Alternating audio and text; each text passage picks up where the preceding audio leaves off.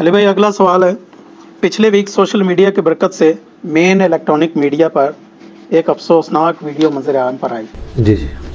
जिसमें एक नौजवान बेटा अपनी माँ को न सिर्फ़ मारपीट कर रहा है बल्कि गालियाँ भी दे रहा था। प्लीज़ इस हवाले से हमारी नौजवान नस्ल को गाइड फरमाइएगा ताकि वो इस कभी हरकत से बाज रहें। देखिए जी नौजवान नस्ल को हम तो गाइड करेंगे। माँ बाप की भी ज़िम्मेदारी है ना कि इनको दीनी तालीम दें बचपन से। माँ बाप की कदर आपको कुरान सुन्नत नहीं सिखानी है ना? कुरान हकीम में कम अज़ कम पाँच मकाम ऐसे हैं जहाँ पर अल्लाह ताला ने अकीद तोहीद के बाद, फ़ौरन बाद माँ बाप के साथ उसने सलूक का ज़िक्र किया। और इसका एपेक्स वो सूरह बनी इसराइल है जिसमें टेन कमांडमेंट्स आई हैं। वहाँ पे भी आप देखें कि स्टार्ट तो हुआ है अकीद तोहीद से। और फिर फ़ौरन बाद अल्लाह ताला ने ज़िक्र कर दिया है माँ बाप के साथ उसने सलूक। और वहाँ पे तो बहुत सख्त अल्फाज हैं। वक़दा रब्बू का अल्लाह तबुदू सूर्य बनी इसराइल आयत नंबर है ये 23 और तुम्हारे रब ने यह बात तय कर दी थी कि मत पूजना किसी को सवाए उसके।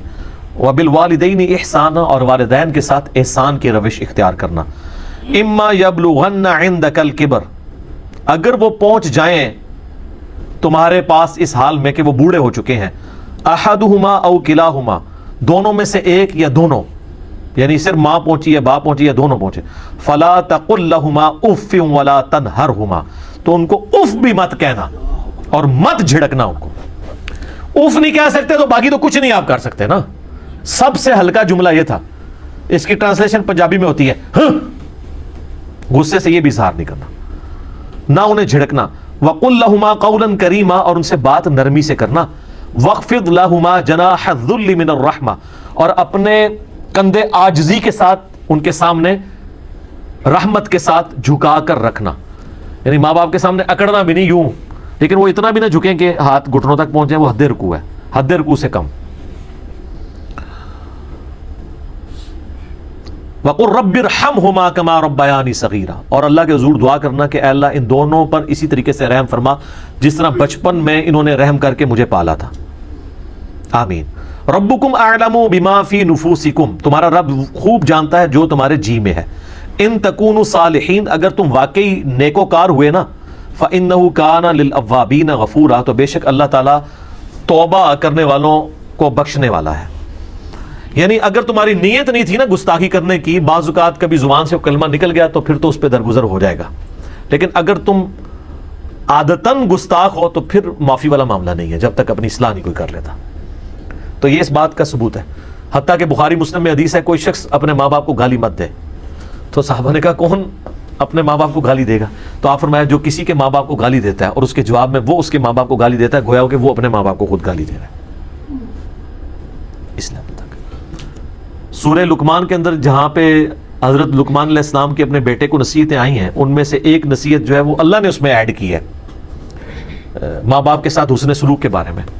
और वो भी डिसाइसिव आयात है पुराने हकीम में।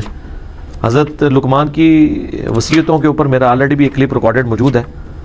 दस वसीयतें उन्होंने की थी, नौ उसमें से उनकी हैं और ये अल्लाह ताला ने बीच में एक ऐड की जो शायद उन्होंने आर्जी की वजह से छोड़ दी थी अपने, क्योंकि उनके अपने बारे में थी, इसलिए।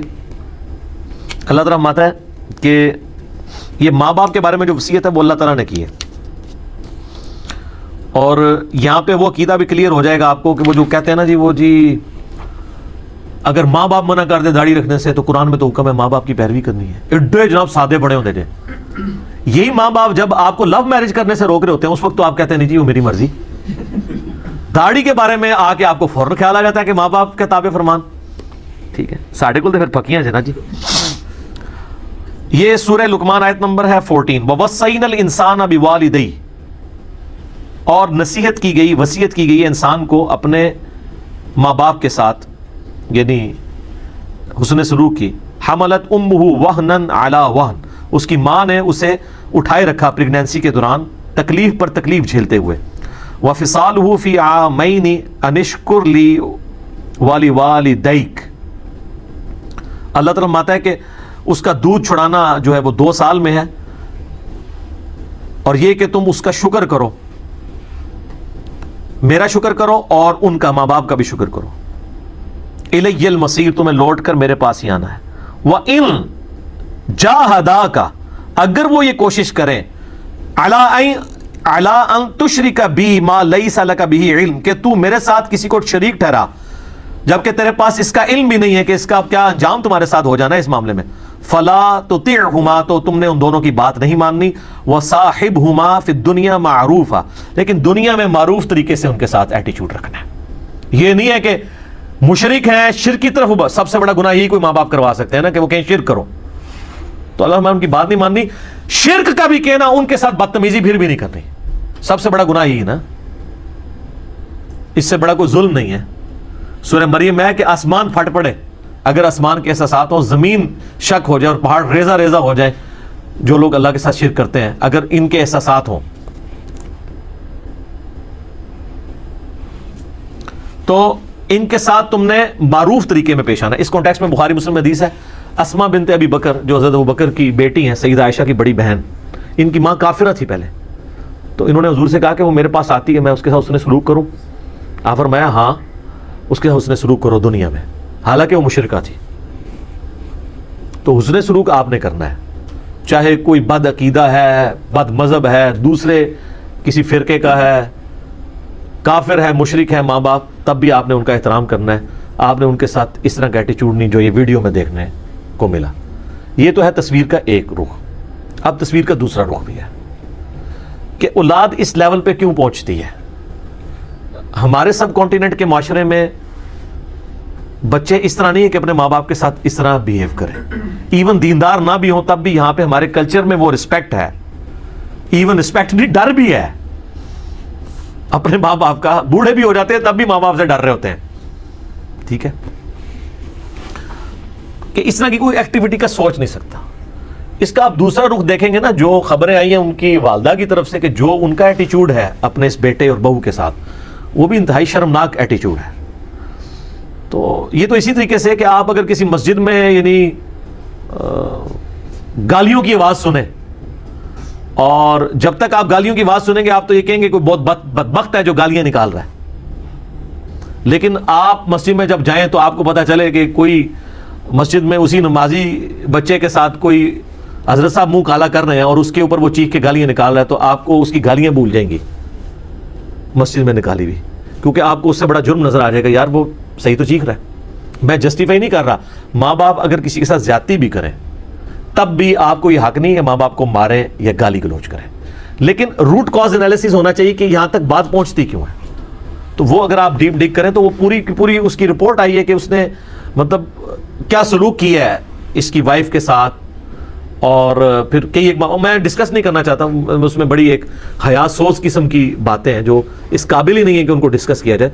तो उसका मनतकी इंजाम इसी किस्म का होना था। तो माँ बाप भी अपनी हरकतों के ऊपर ज़रा गौर किया करें कि किसी को इस लेवल पे ना ले जाएँ कि वो फिर सारी कदर उठा के साइड पे करते हैं। और बाकी सोशल मीडिया की बरकत है जी, वाकई कानून हमारा हरकत में नहीं आता। पहले कभी किसी शहर की खबर अखबार में लग जाती थी तो डीसी को हाथ पाँव भूल जाते थे। हालाँकि अखबार की तो कोई अहमियत ही नहीं है, उस ज़माने में बहुत होती थी। और उस दौर के सहाफ़ी भी सही सहाफ़ी हुआ करते थे। आजकल तो मतलब अक्सर बिके हुए हैं, इल्ला माशा तो अब सोशल मीडिया पे खबर चल जाए तो इनके हाथ में भूल जाते हैं। इनको कोई हमदर्दी नहीं है, आप ना समझे कि इनको कोई अवाम के साथ हमदर्दी है तो ये मतलब उनके ऊपर केस बनाते हैं। इनको ये होता है कि हमारे बड़े ना पूछने कि, यार, ये तो टीवी में इतनी देर से खबर चल रही है, तू क्या गीता है? फिर वो डीपीओ साहब भी हरकत में आ जाते हैं, एसएचओ साहब की भी मुसलमानी जाग जाती है, उनको भी अपने वो कौमी मफाद में जो उनकी ज़िम्मेदारी है, वो उनको नज़र आना शुरू हो जाती हैं और सारा कुछ करना शुरू कर देते हैं। पहले नहीं कोई कर रहा होता, अपनी जिम्मेदारियाँ पूरी नहीं कर रहा होता। बहरहाल, अल्लाह ना करे कि इस तरह के घरों के वाकत घर से बाहर निकलें ज़ाहिर है कि अब ये एक, ये तो बहुत छोटा वाक्य है, इससे बड़े बड़े वाक्यात, कत्ल गारत तक बात पहुँच जाती है। जायदाद हत्याने के लिए लोग इस तरह का मामला भी कर लेते हैं। हालाँकि बुखारी मुस्लिम में हदीस है कि मकतूल का वारिस कातिल नहीं हो सकता। ये पेट रूल है। अगर किसी ने अपने बाप को कत्ल कर दिया ना तो है तो उसका बेटा, लेकिन उसका वारिस नहीं बन सकता। बाप ने बेटे को आग कर दिया, घर से निकाल दिया उसको फारिग कर दिया, तब भी बाप के मरने के बाद जदाद उसको मिलेगी, क्योंकि बाल में अल्लाह ने हक रखा है औलाद का। लेकिन जब अल्लाह ही अपना हक उठा ले, बुखारी मुस्लिम हदीस है कि कातिल जो है ना, वो अपने मकतूल का वारिस नहीं होगा। ये जनरल है। यानी भाई भाई को कतल करता है तो उसकी जदाद का वारिस नहीं हो सकता। बाप बेटे को मारता है या बेटा बाप को मार देता है, उसकी जदाद का वारिस नहीं हो सकता। इस तरीके से बुखारी मुस्लिम हदीस है, काफिर मुसलमान का वारिस नहीं हो सकता, मुसलमान काफिर का नहीं हो सकता। एक दूसरे के वारिस नहीं हो सकते। तो इस केस में हम इसे कंडेम करते हैं जी, और लोगों से कहते हैं कि होश के नाखुन लें, कल को आपने भी बूढ़ा होना है। ये ना हो, आपकी औलाद भी आपके साथ ये शुरू करे, ये मकफात अमल तो दुनिया में मैंने देखा है। सर, ये अल्लाह ताला का ऐसा यूनिवर्सल ट्रूथ है कि जो हर जगह अप्लाई है। माँ बाप के केस में तो ज़रूर अप्लाई होता है। अब इसका ये मतलब नहीं है कि अगर किसी की औलाद नाफरमान निकल आई है और वो खुद अपने माँ बाप का बहुत ताबे फरमान था तो वो कह के जी, मुझे को सजा मिली? उसके लिए वो हो गई है। या जिसकी भी औलाद नाफरमान है, ये मतलब नहीं कि इसने भी अपने माँ बाप के साथ यही कुछ किया होगा। आजमाइश तो हो सकती है ना। लेकिन जनरली हमने देखा है, जो लोग करते हैं ना, उनको दुनिया में इन चीज़ों को भुगतना पड़ता है। इनको तो छोड़ दें। आप पॉलिटिक्स में देख लें। जिस जिसने जो जो गालियाँ दूसरे के लिए इस्तेमाल की होती है ना, वो अपनी ज़िंदगी में वो वो गालियाँ खुद भी खा लेता है। मकफात अमल जारी है। जिसमें आपने ये टॉप ऑफ़ द लिस्ट हमारे मुल्कों में, हमारे मुल्क के अंदर जो एक धरना सियासत का सिलसिला शुरू हुआ जो जो पिछले धरनों में बातें होती थी ना, वही मुखालफिन ने अपने धरनों में उन लोगों के ऊपर की। और वही मुखालफिन जो उन धरनों में उन धरना देने वालों को बातें कहते थे ना कि यार ये क्या मुल्क का बेड़ा कर करने लगे हो? आज वही बातें आजकल के धरना देने वालों को, उस वक्त के धरना देने वाले, चूँकि वो गवर्नमेंट में बैठे हैं, वो कह रहे हैं। तो इसका मतलब है कि ये कोई भोले नहीं होते, इनको पता होता है जो कुछ गलत कर रहे होते हैं। हाँ जब अपने ऊपर बात आती है ना, फिर इनके अंदर की वो इंसानियत या पाकिस्तानियत या मुसलमानियत जागती है। वो अक्सर ये बात की जाती है ना कि हमारे अंदर का मुसलमान उस वक्त जागता है जब हम किसी दूसरे को गलती करते हुए देखते हैं। अपनी गलती में मुसलमान नहीं जागता। इसकी नुमाइंदा मिसाल ड्राइवर है। किसी ड्राइवर को कोई गलत कटिंग करके आगे चला जाए ना ऐसी ऐसी गंदी गालियाँ निकालते हैं ना, और वो लग रहा होता है कि इस बंदे ने कभी भी ट्रैफ़िक सिग्नल नहीं तोड़ा होगा। वो इस तरह गालियाँ निकाल रहा होता है कि इनकी डिजिटल लाइसेंस देता है। एक ही तरह ड्राइवर बन गया। हालाँकि वो खुद कई दफ़ा ऐसे करता है। लेकिन वो उसकी जो है ना इंसानियत और वो ट्रैफ़िक सिग्नल की पासदारी उस वक्त जागती है जब दूसरे को देखता है। अपने पे आता है तो बात खत्म। ठीक हो जी।